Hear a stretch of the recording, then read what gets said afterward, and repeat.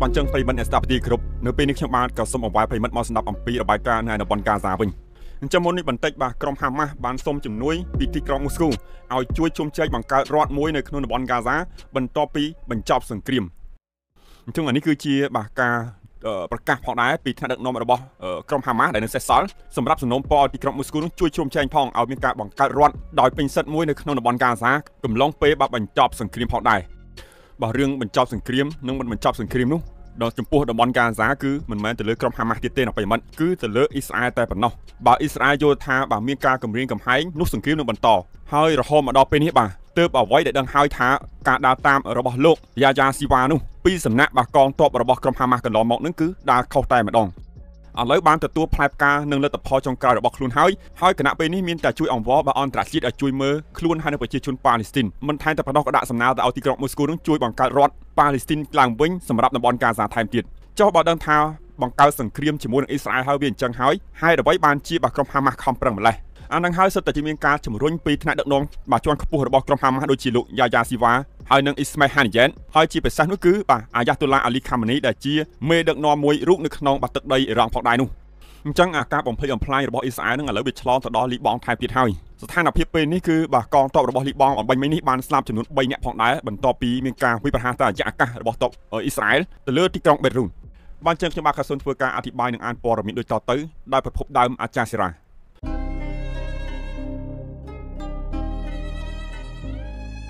ក្រុមហាម៉ាស់ស្វែងរកជំនួយពីទីក្រុងមូស្គូដើម្បីជំរុញឲ្យរដ្ឋាភិបាលឯកភាពនៅក្នុងការបង្កើតរដ្ឋប៉ាឡេស្ទីនឡើងវិញនៅក្នុងតំបន់កាហ្សាក្រុមហាម៉ាស់ចង់ឲ្យរុស្ស៊ីជំរុញប្រធានអាជ្ញាធរប៉ាឡេស្ទីនលោកម៉ាមូតអាបាស់ចាប់ផ្ដើមការចរចាអំពីរដ្ឋាភិបាលឯកភាពជាតិសម្រាប់តំបន់កាហ្សាក្រោយសង្គ្រាមត្រូវបានបញ្ចប់នេះបើតាមមន្ត្រីជាន់ខ្ពស់របស់ក្រុមហាម៉ាស់បានប្រាប់ទីភ្នាក់ងារសារព័ត៌មាន RIA បន្ទាប់ពីកិច្ចពិភាក្សានៅទីក្រុងមូស្គូ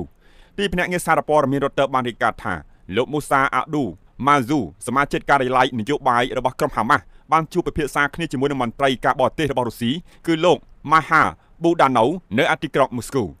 លោកម៉ាស៊ូត្រូវបានដកស្នងសម្ដីដោយសារព័ត៌មាន RIA របស់រុស្ស៊ីថាយើងបានពិភាក្សាអំពីផែនការនិងបញ្ហាតាក់ទងនឹងការរួបរวมជាតិប៉ាឡេស្ទីននិងការបង្កើតរដ្ឋាភិបាលដែលត្រូវគួរតែគ្រប់គ្រងនៅក្នុងតំបន់កាហ្សាស្ទ្រីបនៅពេលដែលបញ្ចប់សង្គ្រាមរបាយការណ៍សារព័ត៌មានរបស់រុស្ស៊ីបានបន្តថា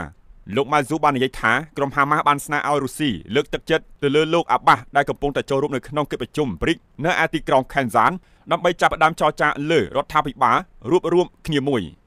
សូមបញ្ជាក់ផងដែរថានៅថ្ងៃទី20មានការឡោមព័ទ្ធនឹងការវាយប្រហារទៅលើតំបន់កាហ្សាភាគខាងជើងដោយយោធារបស់អ៊ីស្រាអែលហើយបានបង្ខំឲ្យបញ្ឈប់ប្រតិបត្តិការជួយសង្គ្រោះទាំងអស់នៅក្នុងតំបន់ហើយត្រូវបានទម្លាក់គ្រាប់បែកយ៉ាងខ្លាំង ទាំងអស់នេះគឺជាការអាប់ដេតចុងក្រោយរបស់អស់អំពីលទ្ធផលនៃការការពារជនស៊ីវិលប៉ាឡេស្ទីននៅក្នុងតំបន់កាហ្សាដែលបានបញ្ចេញអំពីខ្មោចរថយន្តពលិតអគ្គី21នៅក្នុងទឹកដីតំបន់នោះយោធារបស់អ៊ីស្រាអែលបានចាប់ខ្លួនបុគ្គលិកការពារស៊ីវិល5នាក់នៅក្នុងតំបន់ CI Zayel នៅក្នុងតំបន់កាហ្សាហើយបាននាំពួកគេទៅកាន់ទីតាំងដែលមិនស្គាល់កន្លែងមួយរកក្រោះរបស់អ៊ីស្រាអែលបានកំណត់គោលដៅទៅលើរថយន្តពលិអគ្គីភ័យមួយចំនួននៅភាគខាងជើងនៅក្នុងតំបន់កាហ្សាហើយបានដិតចោលទាំងស្រុងផងដែរជោគទវាសនារបស់ បុគ្គលិកការពារស៊ីវិល3នាក់ដែលត្រូវបានរងរបួសពីការវាយប្រហារដោយយន្តហោះគ្មានរូបបើករបស់អ៊ីស្រាអែលនៅក្នុងតំបន់ត្រូវបានគេដឹងថាបន្ទាប់ពីបានបាត់បង់ទំនាក់ទំនងជាមួយនឹងពួកគេនោះ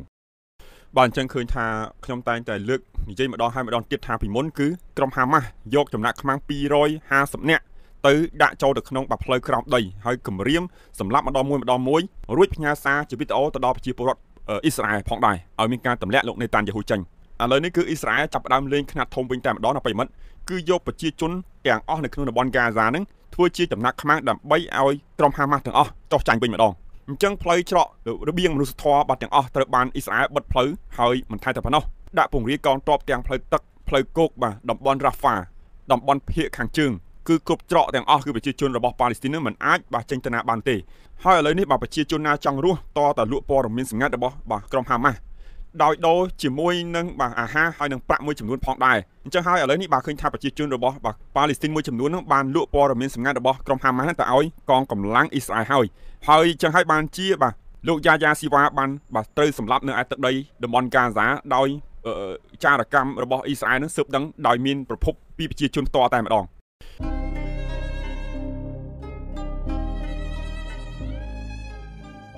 បាទអញ្ចឹងប្រិមត្តអ្នកស្ដាប់ទីគ្រប់មុននេះបន្តិចខ្ញុំបានទទួលរបាយការណ៍ថារុស្ស៊ីបានដកទ័ពផ្នែកកម្មជ្រួចយុទ្ធសាស្ត្រគឺកំជួចអាវុធនុយក្លេអ៊ែរហើយនឹងកំជ្រួចផ្សេងផ្សេងទៀតអបិមិត្តកងទ័ពទាំងអស់ប្រមាណជា50000នាក់នឹងត្រូវបានបញ្ជូនទៅកាន់សមរភូមិវិយុទ្ធជាមួយនឹងកងកម្លាំងរបស់ក្រែន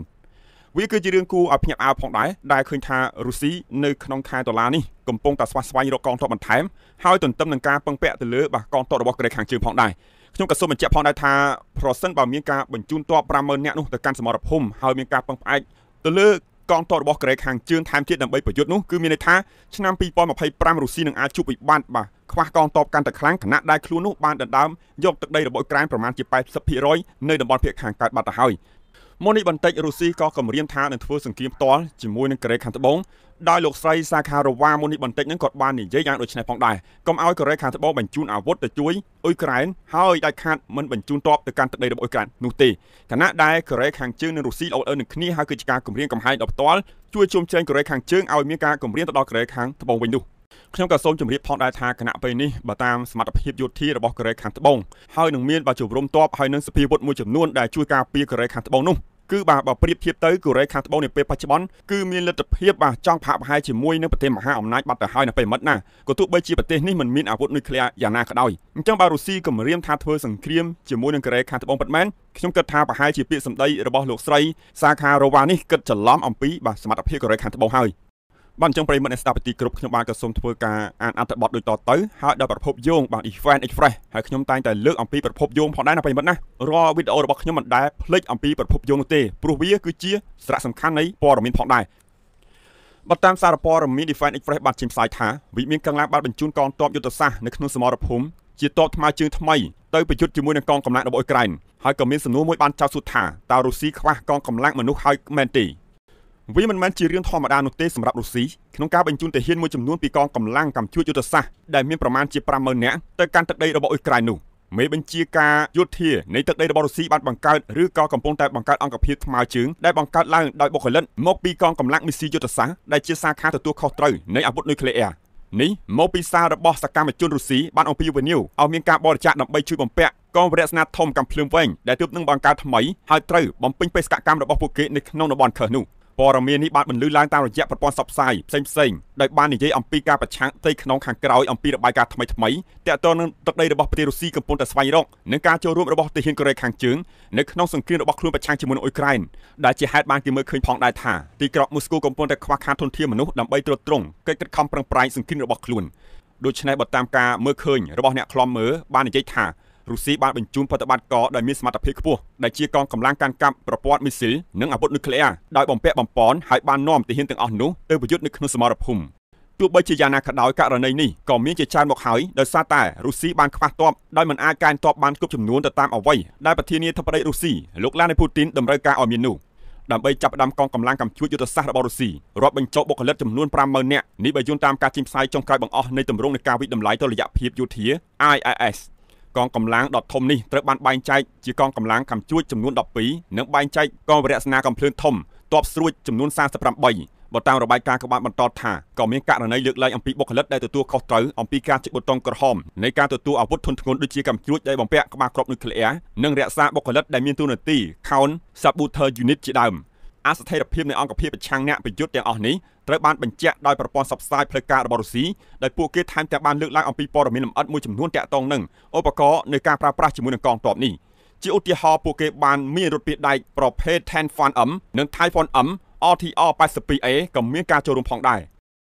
បានចឹងប្រិមិត្តអ្នកស្ដាប់ទីគ្រប់គឺតាហ៊ានប្រមាណជា50000នាក់ ជាកងកម្លាំងយុទ្ធសាស្ត្របាទកាន់កាប់ផ្នែកកំជ្រួចណាប្រិមិត្តបានបញ្ជូនទៅសមរភូមិប៉ុន្តែមុននឹងបញ្ជូនហ្នឹងគឺមានការវឹកហាត់សិនបើតាមអ្នកវិភាគបាននិយាយថាប្រសិនបើមានការបញ្ជូនទាហានទាំងអស់នោះទៅកាន់សមរភូមិហាក់ដូចជាទាហានហ្នឹងថ្មីថ្មីចេះអញ្ចឹងណាប្រិមិត្តណាគឺត្រូវបំពាក់បំពន់ត្រូវឲ្យដឹងអំពីសមរភូមិនឹងយ៉ាងម៉េចយ៉ាងម៉េចព្រោះថាតចូលទៅគឺប្រយុទ្ធផ្ទាល់ហើយអត់មានដូចជាកងកម្លាំងដែលឈរនៅខាងក្រោយហើយចាំតែកេះកាយកណ្ដងក៏ភ្លើងធំឬក៏បាញ់តែកំជួចនៅពីចម្ងាយនោះទេណាប្រិមិត្តតាចូលទៅក្នុងសមរភូមិហើយត្រូវតែបាទកេះកាយឲ្យដឹងច្បាស់លាស់ ហើយដឹងអំពីភូមិសាស្ត្របាទនៅក្នុងតំបន់ថែមទៀតអញ្ចឹងហើយបានជាអ្នកវិភាគបាននិយាយថាតាការណាចូលទៅនឹងដូចជានាំទាហានថ្មីថ្មោងចូលទៅប្រយុទ្ធយ៉ាងណាបៃមិត្តណាប៉ុន្តែបើធ្វើយ៉ាងម៉េចបើបេសកកម្មរបស់ទីក្រុងមូស្គូគណៈពេលនេះនៅតំបន់ភាគខាងកើតហ្នឹងគឺតតែសម្រុកណាបៃមិត្តសម្រុកកុំឲ្យដកដៃបើសិនជាដកដៃណាបៃមិត្តគឺអាវុធរបស់អ៊ុយក្រែនមកដល់នោះគឺពិបាកក្នុងការទប់ទល់ត្រឡប់មកវិញបើតាមរបាយការណ៍នៅពេលបាទថ្ងៃទី23 24នោះតំបន់ភាគខាងកើតក៏តំបន់ខ្លះហ្នឹងក៏ត្រូវបានបាទអ៊ុយក្រែនហ្នឹងតដៃវាបកត្រឡប់មកវិញផងដែរ ហើយភាពខ្លាំងរបស់រុស្ស៊ីគឺនៅពេលបច្ចុប្បន្ននេះគឺអាវុធដែលនៅសេសសល់តាំងពីសម័យសហភាពសូវៀតនឹងប្រមូលអស់ពីឃ្លាំងហើយបូកជាមួយនឹងទាហានដល់ច្រើនសម្បើមទៀតទើបអាចយកឈ្នះរបស់កងកម្លាំងរបស់ក្រែនបានហើយប្រសិនបើមានការបាក់ខកខានក្នុងការប្រមូលកងទ័ពសម្រាប់ដាក់ពង្រាយនៅតាមចំណុចណាមួយមួយនោះវាធ្វើឲ្យស្ថានភាពនៅក្នុងសមរភូមិនឹងកាន់តែប្រែប្រួលត្រឡប់មកវិញផងដែរប្រិមិត្តបានចឹងប្រិមិត្តអ្នកស្ដាប់ទីគោរពនៅពេលនេះខ្ញុំបាទក៏សូមបញ្ចប់ព័ត៌មានអត្តមនេះហើយសង្ឃឹមថាប្រិមិត្តទទួលបានព័ត៌មានអក្តីរីករាយបាទសូមអរគុណសូមជម្រាបលា